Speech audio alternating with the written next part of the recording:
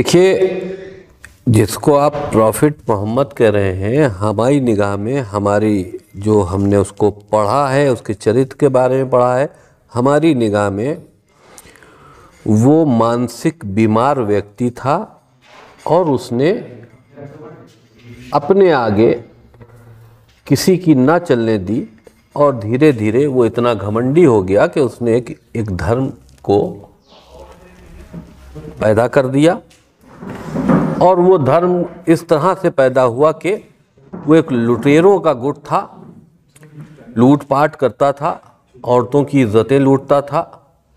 और ज़ाहिर सी बात है, जहाँ गंदगी ज़्यादा होती है, लोगों को लगता है कि यहाँ बग़ैर मेहनत किए कुछ मिल रहा है तो वहाँ लोग ज़्यादा संख्या में बढ़ते चले जाते हैं। इस तरह से इस्लाम फैला है।